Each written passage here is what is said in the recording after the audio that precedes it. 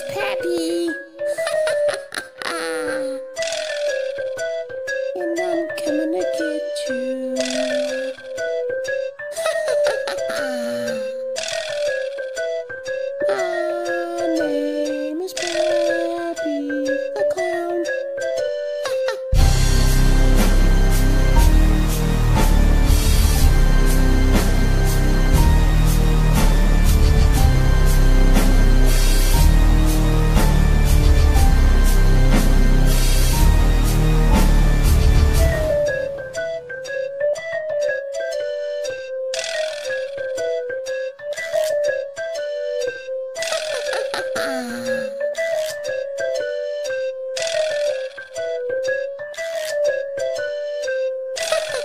Ah.